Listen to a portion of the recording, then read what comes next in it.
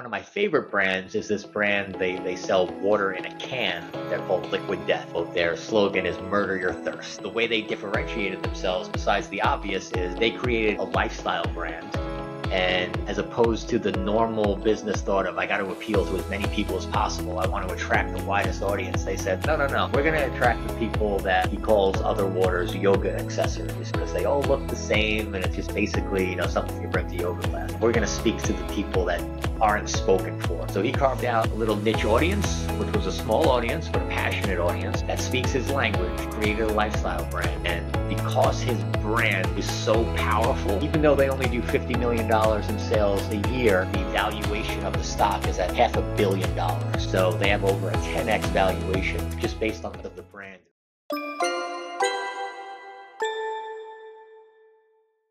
Welcome to the e-commerce marketing podcast the highly rated digital marketing podcast that provides weekly digital marketing tips and strategies from some of the world's top digital marketers and e commerce entrepreneurs that will help you take your digital marketing to the next level. Sit back and enjoy this power packed episode hosted by Arlen Robinson, who is an e commerce entrepreneur and digital marketing expert with over 20 years of experience. Hey, e commerce marketing podcast listener! Are you looking to increase traffic and sales to your website? You can do this by launching your own affiliate program. Just visit getosi.com and sign up for a free trial today. That's getosi.com. Now get ready to hear from your e commerce marketing expert of the week as they drill down to give you details on marketing strategies that can help grow your business. Welcome back to the e commerce marketing podcast, everyone. My name is Arlen and I am your host. And today we've got a very special guest the marketing supervillain Jesse James Wroblewski. Welcome to the podcast, Jesse. Greetings, citizens.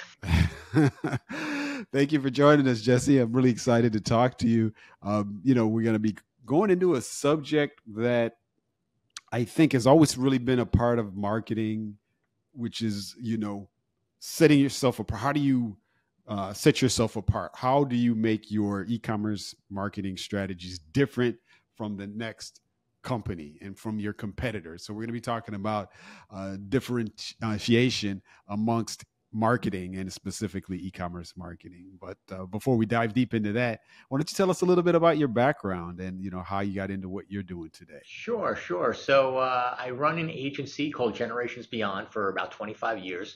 Started doing websites when uh, we were getting AOL discs in the mail and uh, had to do it via dial-up. So I've been through, you know, even though it's only been 25 years, it's in, in internet years, it's almost like dog years. I've been through so many iterations and lifespans of different technologies and uh, kind of adapting to them and then, you know, getting, uh, you know, evolving out. So I, I was doing differentiation for clients before I even knew I was doing it. So I essentially wanted to stack the deck in my favor. So maybe you've experienced it. A client comes to you, they say, Hey, we're going to write you a check. I need you to do marketing for me. And like you said at the beginning, you know, what makes your campaign any different from any other campaign out there? Give me something to sink my teeth into because I know at the end of six months, you're going to say, I wrote you X amount of checks. They didn't get me X amount of sales and we're going to part ways. So let's, let's fast forward six months you know, once we hit that wall, how are we going to make yourself, you know, how are we going to make you guys stand out? So I kind of always had a, you know, maybe it's a selfish uh, inclination to kind of stack the deck so I could be successful as a marketer, and in turn, my clients were successful as well. Yeah, good stuff, good stuff, and um, yeah, that's that's really all what it's about, and especially um, from your side of things, the agency model. Um, yeah, it's all about the results, of course, yeah. um, that you're going to get as far as if you're going to continue to work with the customers you have, and then if you're going to be able to get new customers, and then of course it's I think with you it really becomes a a uh, trickle down effect because those customers that you've had success with, you can use those as prominent testimonials to get win other business. Yep. So it's yep. um, definitely becomes kind of a win win for for for all parties. Uh, so yes, thank you for sharing that, Jesse. Um, you know, first off, I guess I'd like you to you know explain a little bit more detail what differentiation means in the context of marketing and why you feel it's critical for brands in specifically crowded market um, niches? Sure. So differentiation um, it's kind of synonymous with the term decommoditization. So I, I, kind of invented that term. But a commodity, or when something becomes commoditized, the one thing that makes them special in a marketplace, when that special factor is no longer recognizable by the general public, or that special factor really isn't that special anymore, um, that they become known as a commodity, right? So I can get right. what I can get from you from somebody else for less of a price. Why should I go with you? There's really nothing special about you. So to illustrate mm-hmm. this, I use the term, uh, the the example of uh, airlines. Let's go back to the 80s, right? Nobody yeah. really had brand loyalty of an airline. You bought a ticket on an airline based on price, right? I can get here to here for the cheapest. Then mm-hmm. some genius came up with the idea of frequent flyer miles and that brand, you know, became really special and their sales increased significantly. And then what happened? Everybody started offering frequent flyer miles. So the one thing that made that person special, that airline special, slowly got eroded away, and eventually, again, they became a commodity. So uh, differentiation can be, you know, like a wave, something that's always evolving, but you always want to make sure that you're the one standing out. You know, people are going to copy you, but if your clients in, in my industry, I'm sure it's very similar to yours, they're often intimidated at, at what we do because it is confusing or uh, they really they're uneducated so they can't tell the difference between why one agency is better than the other agency so it's our job to make it as easy as possible for them to say i want to work with that guy that girl because of blank yes, what's the blank yeah. Yeah, yeah, that's a that's a great breakdown of the concept. It really highlights, you know, this the importance of standing out, especially in today's competitive environment. Not only with like what you're doing as a, from the agency model, um, which will help make people make a decision when they're deciding to work with you, but from an e-commerce business perspective, there are now more e-commerce businesses out there than than ever. You know, a lot of this was um, accelerated, of course, during 2020 in the pandemic, where businesses that didn't have an e-commerce platform, didn't have the ability to sell e-com, or were not doing it that great, they kind of got their acts together in a short amount of time. And so this really, there was a lot of emphasis flooding into the e-commerce markets in a short amount of time. So there's so many options when it comes to purchasing items. It, that's why you, have got to stand out. You got to make a, your product or services different um, noticeably different from your competitors? Yeah, I mean, with with agencies, obviously we have a little bit of a, a luxury because someone wants to compare agencies, truly compare them. They got to make phone calls, they got to set up Zoom yes. meetings, they got to, you know, you know, compare and contrast. With e-commerce, it's like click of a button. This one, this one, or this one. This one's the cheapest. I'm going to go with that yeah. one, right? So it's it's split right. second differentiation uh, compared to yes. the luxury of explaining exactly. to a client why you're different. exactly. Um, so I wanted to see if you could share an example of a brand that successfully differentiated itself in the past decade or so, and what lessons can you know any emerging brands learn from it. Yeah. So my favorite favorite story of most recent uh, times is I'll use the, the the perfect example, which is the ultimate commodity, water. Right. So water okay, right. is essentially free. Um, yes. So how the hell do you charge a premium for something you can get for free? So right. one of my favorite brands is this brand. They they sell water in a can. They're called Liquid Death. So yes. their slogan is "Murder Your Thirst," right? And they mm-hmm. the way they differentiated themselves, besides the obvious, is they created a lifestyle brand, and as opposed to the normal business thought of I got to appeal to as many people as possible. I want to attract the widest audience. They said, no, no, no we're going to attract the people that, you know, he calls other waters yoga accessories, right? Because they all look right. the same and it's just basically, you know, something you bring to yoga class. We're going to bring, you know, we're going to speak to the people that aren't spoken for. So he carved out a little niche audience, which was a small audience, but a passionate audience that speaks his language, created a lifestyle brand. And because his brand is so powerful, even though they only do $50 million in sales a year, the valuation of the stock is at half a billion dollars.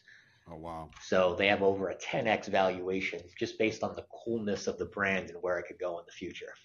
Mm-hmm. Yeah, that's that's awesome, and that's a, a, great example, and really puts into perspective, you know, how effective differentiation can be. Because, like you said, with water, you know, it's like, um, you, you know, water's water. Right. You water anywhere. What's the really difference? And it's interesting that you mentioned that because I think the first time I came across that brand, I, I started I noticed seeing cans and, and people drinking them. I'm trying to remember where. Maybe it was in the gym or just different places. And um, my first thought when I saw it, because you know that's like they, they they're totally different than any other water company as far as their branding, their logo, the slogan, you know, liquid death. When I first saw it, to be honest with you, I, I didn't know what it was. you know, I, I, my first thought was like I did not I wouldn't have thought it was water. I, I think when I first saw it, I thought it was like a uh, an energy drink, you know, something like that. That was my first thought. Yeah, I mean, by by design, you know, one of the things yes. that he took into account, you know, I'm, I'm not yes. a drinker, but when mm-hmm. I go to a bar, everyone on the planet asks me, "You drink? Why not? Why don't you drink? Why don't you drink?" So now you have this right. thing that looks like a tall yes. boy, right? So exactly. it kind of like reduces that anxiety as well. So it's he's he's firing on a lot of levels where yes, you could hold this can in a bar, and you might even be the coolest guy at the bar because you have a can of water that's really cool and he has a really passionate yeah. fan base. Yeah, exactly. Yeah, that's it's, it's it's interesting to look at it that way, and you're right. It, it kind of fits in with those types of drinks, the Red Bull, those other type of energy drinks that have the kind of, you know, different types of style logos and the, the branding. And so somebody, like you said, at a bar drinking that doesn't feel left out because you know yep. although he's drinking water you may not never know because yep. like i said yep. i i saw it i thought it was an energy drink so yeah interesting stuff and really interesting to see how this, this the strategy unfolds into real world scenarios so you know looking forward um just want to pick your brain a little bit how do you see the strategies for differentiation evolving you know with the advent of these new technologies like ai and machine learning which is of course the talk of the town in pretty much all spaces. You know i can't get around not talking about ai so what, what do you think? Yeah absolutely. So differentiation is going to be immensely more uh, uh, i don't say powerful but needed um, if you think of if you think of the world before the internet right? Before e-commerce, you went to the store and you might have had one or two choices of anything, peanut butter, whatever. Now we have the internet. Um, Seth Godin, who's an author, says people have an explosion of choice, right? So now there's yeah. an infinite amount of more choices that you have the ability for. You bring in AI. I mean, aside from the marketing aspects aspects of it, where you can create, you know, a thousand banner ads with the click of a button, it's also going to influence manufacturing. So now those thousands of peanut butters you had before on the internet, very easily going to crank out more brands, more ability to create more product, and those might turn into tens of thousands of brands. So there's just going to be more and more and more options and choices out there. Um, it just makes it that more that much more important or harder to do business. So you need to uh, employ differentiation. I mean, yeah, if, yeah, if, if everybody can create a peanut butter brand with the click of a button, you know, why would you, everybody. why would you even get into that market, right? Yeah, that's true. It's so everybody now has the power to to come up with a million and one slogans, yeah. a million and one, uh, you know, different types of ad campaigns and logos. So, yeah, it's like you said, it's it's good and it's it's bad. You know, it's it, it, it in a way it, it does level the playing field a little bit for some of the smaller brands, some of the brands that you know don't have you know huge budgets to you know spend on on ad agencies that are are doing these massive campaigns that involve a lot of research, a lot of testing. Um, you know, the smaller mom and pop e-commerce um, e-commerce company or e-commerce brand can just hop on to Chat GPT and you know within a few hours they can come up with some pretty good marketing campaigns from email campaigns to messaging for their website uh, you name it all of that can be created and, and and just you know with the within the the typing of just a few prompts sure. so yep. it's um in that aspect you know I, I think it's good because it does um really foster a lot more competition. And you know, as we all know, competition it, it is good when things are are level and, and, and more competitive. That's when uh, you know things can get better for the consumer. There's going to be a lot more options, and it's going to keep brands um, on their toes as well as marketing agencies. So um, yeah, I think it's uh, you know I think it's uh, overall it is a a good thing. Now, with all of your, of course, years of experience, um, what have you seen as being, you know, your most challenging aspect of implementing a differentiation strategy, and how did you overcome it?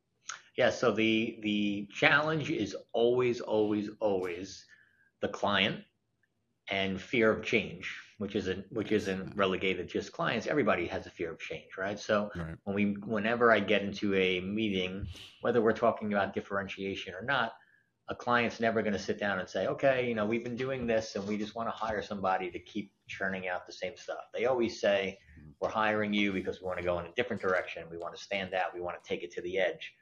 And then ultimately, when you get them to the 99 yard line, they're like, whoa, you know, let's let's sand off the rough edges. Let's make it a little bit more safe. Um, so that's that's always been the challenge and something that I'm working on um, to kind of mitigate that at the last minute.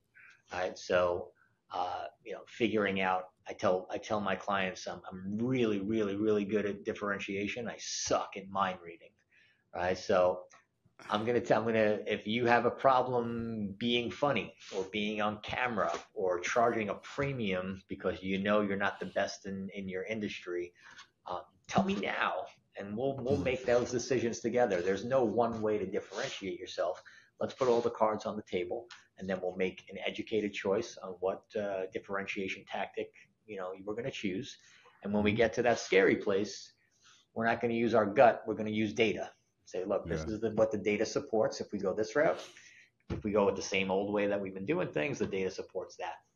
And it's a right. simple, you know, logical uh, uh, decision as opposed to this emotional thing where mm-hmm. I don't know, I'm changing everything. I could lose my life. Uh, so kind of quelling those concerns. Right, right. Yeah, that's that, that's good to hear. That's a great way to go about doing it. Just uh, you know, backing your what you guys come up with, what you guys plan to implement, the creativity, the campaigns, strategies, backing that with with data. You know, and that's the best way to do it because I can definitely feel your pain. I understand where you're coming from when you get to that those points. You get to the um, you know the, the 99 yard line or whatever. You're and then you say, okay, so we're going to do, you know, they agreed already, but then when they see what it is and how different it is from what they were doing in the past, then, you know, they can get a little, little antsy and a little uh, gun shy, I guess you could say, which is understandable because everybody is averse to change, you know, no matter how we fight it and how much we fight it in all aspects of what we do in business and in our personal lives. It's, it's, it's tough to, to accommodate change. But yeah, like you said, if you're coming from the angle of saying, okay, you can go down this road with what you're doing right now, but you know, your the data is showing that, you know, your sales are going to continue to decline or, you know, but if we go with these different strategies which have been proven by some other brands, you know, nine times out of 10, you know, you're going to have a, a, boost in sales and, and things like that. So yeah, it's good to see that you, um, are approaching things with your clients uh, in that way to keep things based on data. Now, um, I'm always one to really understand that a lot of growth really happens when you're learning from the mistakes and the pitfalls. So I want to see what common pitfalls you know businesses should avoid when attempting to differentiate their products and services overall. Yeah, so there's a chapter in my book that I basically say it's not a hard and fast rule that you have to be fully authentic with yourself, and I'll get into what that what that really means. But if you choose a differentiator that is authentic, it's a huge leg up, right? So it's just gonna it's just gonna increase your your chances of success, right? So inauthenticity, lightning rod of a topic, but you saw what happened with Bud Light, right? They they put some, you know, put some emphasis on uh, basically virtue signaling on a, on a certain community. Everybody came down on them. They were just you know putting something out there that wasn't really ingrained in their in their DNA, right? Everyone's very right. quick to be like, oh, we sell product, but we're also saving the planet. You know, just throwing money at this charity, throwing, and people can see right through it. Um, yes. And nowadays, you know, if you do it inauthentically, people will call you on it. So I think you know trying to if you're selling gas guzzling vehicles and you're trying to be, you know, Mr. Green company and, you know, saving the trees and all that, people are, are really wise to that. Um, yes. You know, I think that's the, the biggest say challenge or advice I can I can give. You know, just be authentic in your in your differentiation. Yeah, yeah, I, I totally agree, and I, I do see it being a trend, especially things like you know the virtual signaling that you that you mentioned, associating your brand with you know helping a certain community or associating your brand with sustainability efforts when you know you look at some of these companies where you look back maybe just a year ago even months ago there's no mention of any of that. Yeah. they, they don't have a history or track record of of supporting any of these things. And all of a sudden you know you see all of this stuff about sustainability and supporting certain groups. And you know there's nothing wrong with that. You know brands can you know have a change of identity, I guess you could say, and they can decide to support things. You know, they are, every every brand has that right to do it, but you you have it has to be authentic. It has to be something that's tied to your company's core mission because like you said, most consumers these days are really educated and can see right through all of that stuff. Yeah. Yeah. And um the of course it's so easy to to look back and to to you know with AI these days, you know, you could get a full history of of just about anything, any yeah. company and what they did 10 years ago, what were were their missions on these dates and so um we have to be careful because yeah, people will see see uh, you know straight through some of those, you know, inauthentic efforts uh, for sure. Um now uh, just as we get ready to to wrap things up, um you know, as consumer behaviors overall continue to change because they're always changing. Um, how would you say companies would need to adapt their differentiation strategies to remain relevant and competitive overall? Yes, I mean you, use the you use the perfect adjectives. Uh, you know, relevant and competitive, um, and it's a it's a constantly evolving uh, thing. I have clients, you know, you, chances are you're not dealing with a powerful brand owner that's fairly large who's very young, right? So all, sure. all of the more established brands, rightfully so, are, are, are managed by seasoned executives. Everyone, doesn't matter who you are, thinks social media is like super sexy. Right? right. But a right. lot of a lot of the times the executives that want to be on social media they don't know how weird of a place social media is. They can't read the mm-hmm. room. So sometimes I come back to them and I'm like, all right, here's what's going to be successful. And they're like, who the hell would ever like even watch this or like it or so staying relevant. I don't know how to how to how to uh, you know better wrap it. If social media is included in the future of your brand expansion or differentiation, and you're not on it, and you're not authentically interacting with people and kind of reading the room, at least bring someone on board that you trust that's going to you know and that's everywhere you know knowing knowing where your market is and knowing what your market wants. If you're completely shut off and saying ah this tiktok thing these kids today like guess what right, right. that's that's a huge indicator of where your brand is going to be in in five to ten years so if you're closed off um, chances are you're not going to be very differentiated a decade from yeah now. Yeah, very true. And that's a great example with TikTok. You know, it seems like, yeah, definitely adaptability seems, it does seem crucial as the market evolves because we do have all of these new, new platforms, these new marketing channels. And, you know, eh, of course, there's, you know, a lot of brands that are out there, like you said, that are older and been around for a while, may have been used to doing certain things, but you know, if they don't have that expertise in house, they better find somebody that can help them with these efforts, you know. And typically it's going to be a younger person, somebody that's a little bit more social media savvy. They may have grew up with social media, they're on TikTok, they're all in it and um you you, you know, you you we do have to especially as an older brand, you do have to to look to the, you know some of the younger generation and and see how they can help you you know navigate these things because you know it's stuff is very different very different you know um, before social media you know you know i know that there was really the only options when it comes to to advertising was really radio tv um, newspapers and magazines and that's really about it i don't think there was really anything else yeah uh, other and um, you know now there's like a whole slew of other channels to really get out there and, and market and so yeah I, I think it's only going to keep increasing yeah, I mean we're being we're being a little stereotypical, but I think it's I think it's true across the board, right? So not even yes. not even limited to the platforms. You take a company like Harley Davidson, right? Yes. Steeped in tradition. Um, as the new generations came along, new generation doesn't want to drive the same bike his father and grandfather, you know, rode, right? They want something right. cool. They don't want a gas guzzler. They want something responsible for the environment.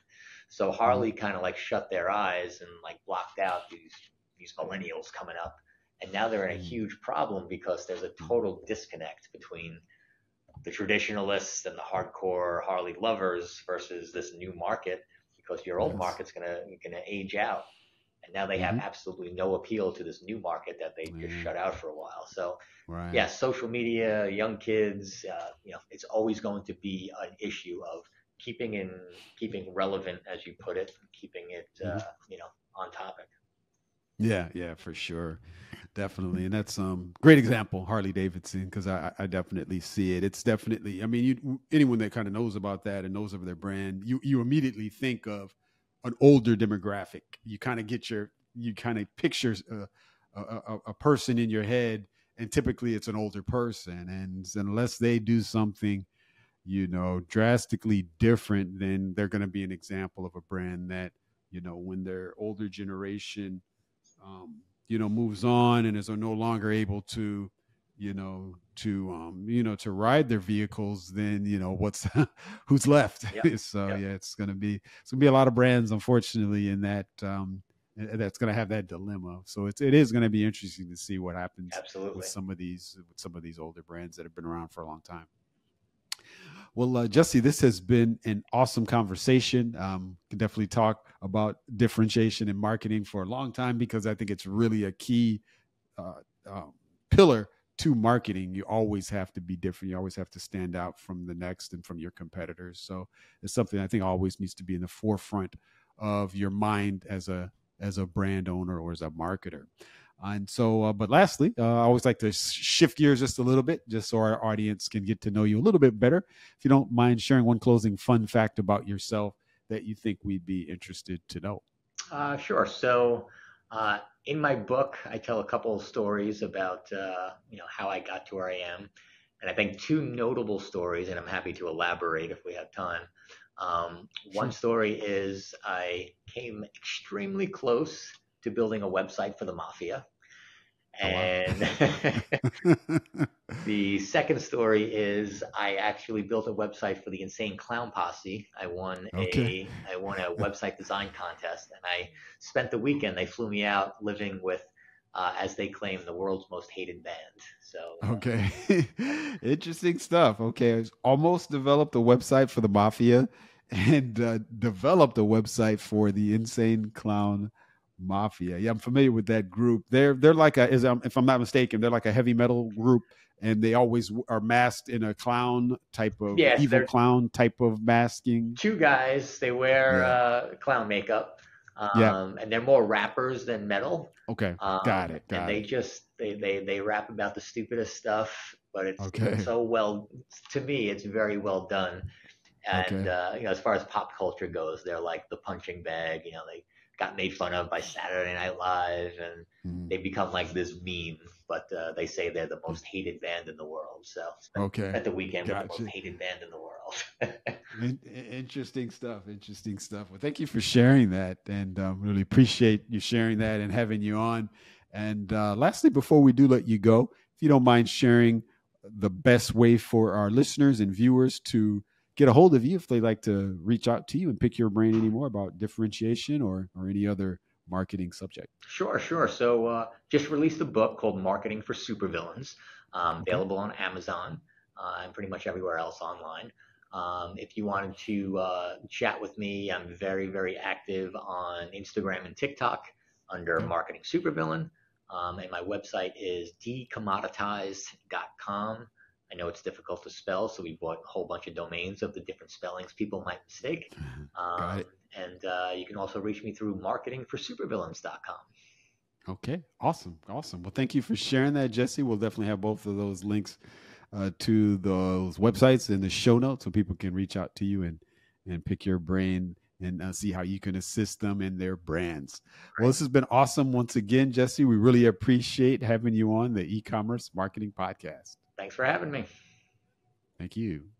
Thank you for listening to the e-commerce marketing podcast. If you've enjoyed this episode, be sure to rate, review, subscribe, and share it with everyone you know.